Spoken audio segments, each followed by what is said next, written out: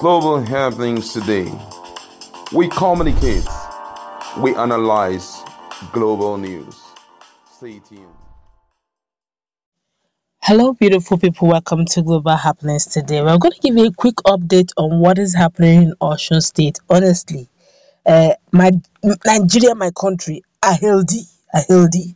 Uh, if you continue like this, I don't know how 2023 elections, presidential election will look like, but I can assure you, Nigeria should better put on their tight jeans.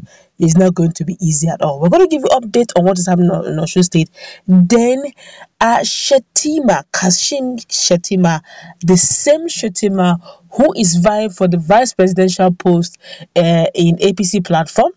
Uh, that's um, Tinubu's running mate, the same Shettima who looked at our amiable vice president and called him a borrow bit ice cream seller and a popcorn seller.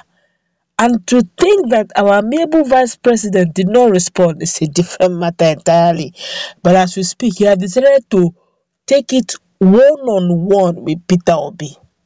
Looks like uh, Shettima is in the habit of always looking for people's trouble, or should I say, calling people out and calling them special names. All this we're going to give you uploads very quickly, but before we do that, we'd like you to subscribe to our channel by clicking on the right subscribe button beside it. You see the bell notification icon. Please go ahead, click on it to get notified as soon as you update our channel on YouTube. Let's start with what uh, Lady Koduma King's uh, wife said in her polling unit. She said that the the grade of vote buying now is is a hybrid is upgraded it's not the regular type that if they if they have uh, modified vote buying now the nigerians had better get ready. Although according to her uh, it was relatively peaceful. He said the security personnel were very professional in the uh, in the approaches. He must commend them, and of course, the Labour Party aspirant is also screaming that they should look into this issue of vote buying. If it continues like this, the Nigerian selection and democracy is finished. Then, of course, still on the same issue. Uh, there have been series of videos apc or pdp their agents are just busy they're just doing their thing and uh, they're just having fun and that's why they are saying that there's no vote buying. We all know these things. We don't want to just mention names to make it very interesting. The latest style of the hybrid type of vote buying now is is 10k 10k wongba. Just 10k according to some sources. The what you just need to do is if you want to collect 10k because the first the first polling agent was crying foul that that what in the more votes, meaning they have eaten the money. He has given them money, but he's yet to see any vote. You know, but yet he has given this this vote the electorate money. So the other units have decided to become whiter. So what do they do? When you go to the polling unit, you go with your phone. You snap what you have voted for. If it is APCO, PDPO, APGAO, whatever it is you have voted for, snap it. When you snap it, you now go and show them. They will now give you your your your 10k you smile to the banks. That is now the latest hybrid type. Dangerous type i tell you. Which means it's either you don't have longer longer. If you don't have longer longer you do your vote and allow your conscience to judge you. Or you because of that 10k you collect 10k and vote the wrong person. And let us calculate the 10,000 now. 10,000 if you go by four years it is six naira per day. Yes for the next four years they just pay you six naira in a day. You're not ashamed of yourself to be selling your life selling your future four years of your life for six naira. Yes why don't you just go and be selling selling cooks you see more profit than selling yourself six naira per day.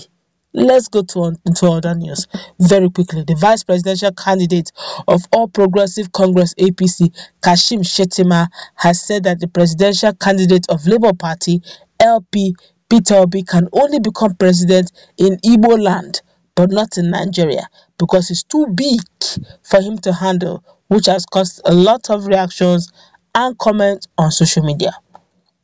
Shettima, who said this on Arise TV, noted that Peter Obi has no political structure to win 2023 elections and has no enough experience to lead this country.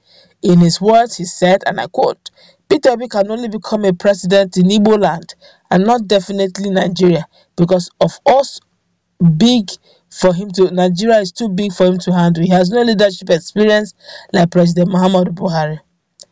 Eh, okay. Before Nigeria started reacting, let me just say a little thing about Peter Obi.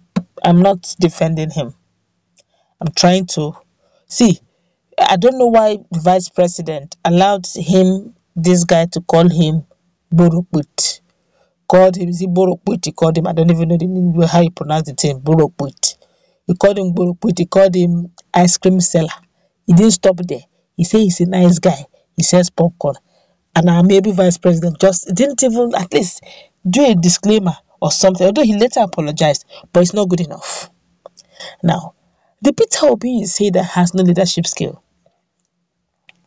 That was the two-time uh, governor of Anambra State. He did excellently well.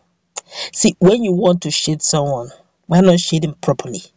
Don't don't make you look as if the reason why you're even talking is because of Peter Obi. Is is that what you're bringing to the table? You're bringing Peter Obi to the table.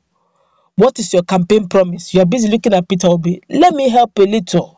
The little I know about Peter Obi. Peter Obi has gone through business schools. Please, with due respect, Shettima, which of the business school did you attend? Okay. Oh, I remember. He was one time a manager of Zenith. I think senior manager of Zenith in one of those uh, uh one of those states before he entered into politics. Peter Obi, I think, is the chairman. Correct me if I'm wrong. Oh, I think he's the chairman or former chairman or still the present chairman of Fidelity Bank. For you to rise to that position is not moi moi in sachet. It's not beans. Nobody should belittle that position. That position is not is not something you go on the street and pick it even in Borno. You can't pick CEO. You can't pick a chairman of Fidelity Bank on the street of Borno. Nigerian politics has become so corrupted that sometimes when you say a politician, self, it doesn't it doesn't um, it doesn't ring a bell. It, it, it, it rings, it smells of corruption. So sometimes when you say you have been an experienced politician for 24 years, it, it, it, an average Nigerian will just look at you, a corrupt politician for 24 years, because Nigeria is fantastically corrupt. Whether we want to tell ourselves the truth or not is left to our conscience. Now, for the same Peter we are talking about, have gone through series and series of business school. He has succeeded in several businesses. He has made promise. He has made you know this this this beauty of a serial businessman who have attempted he has learned to trust his instinct he knows when to cut costs where necessary and he knows where to expand and push where possible now this is somebody that Nigerians will say is very stingy. There have been so many um, stories about him, his antecedents, that he doesn't give shishi. Right now, Nigeria is looking for a, a, a man who is that prudent to the point that he will help us cut. If you can cut all the costs, self cut it. You will cut all the. Co- wow, we have in how many private jets do we have? How many is being functional? How many is being used? You just there are some places we call for leakages. He should seal it. We don't. We are not looking for experienced politicians who have become di- vast in corruption. Mm-mm, mm-mm. We don't want it again. You can't be doing the same thing over the time and expect a different result. We have tried these so-called experienced politicians, and they have proved us that they've proven to us that maybe they don't have anything different to offer. Why not let's try a businessman who have who have succeeded severally in his businesses. Okay, but he has had a, a, a taste of politics in Nigeria as well. So when you say it's too big for him, Fidelity have branches all over Nigeria. Is it too big for him to handle as well? And if you've ever worked in the bank, you understand that there's what we call all the checks and balances at every given table, which means for fraud to even fly, everybody somehow, one way or the other, must be involved to make that fraud to fly. So for someone who has been able to control such system that controls that kind of system, do you think if he puts the same checks and balances that he did in Fidelity, don't you think it will work? It's just a case of looking at Nigeria as a micro this thing and expand it. The only thing is that the corrupt leaders will not like him. They won't like him at all because he's going to cut out everything possible. They say that Peter Obi does not have the wherewithal to control a country said is not as experienced as and the president of Nigeria. Peter Obi, with all his education, he's not experienced. With all the pedigree he's got, he's not experienced. Come on, let's look for something else. Let's see that section wants to take. I think this is just a case of personal beef now. Let's play politics. Leave personal vendetta.